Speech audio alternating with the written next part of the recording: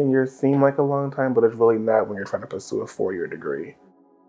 After I graduated from high school, um, I ended up at KVCC, Kalamazoo Valley Community College.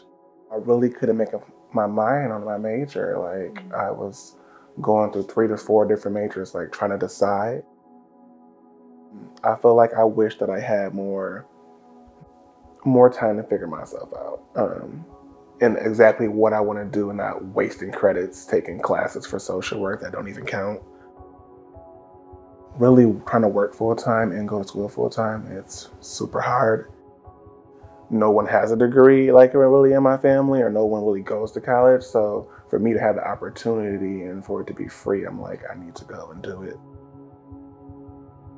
I don't think that I was mentally prepared to just push through it for four years straight and get it done and out the way. Now I feel like I'm getting there, but before it was very different. It was harder.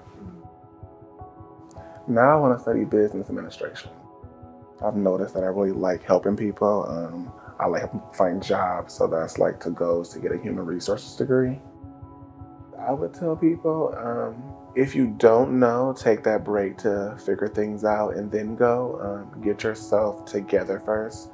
Don't just rush in full time thinking everything's going to be figured out because it's not that easy. And don't waste 10 years because it does happen fast.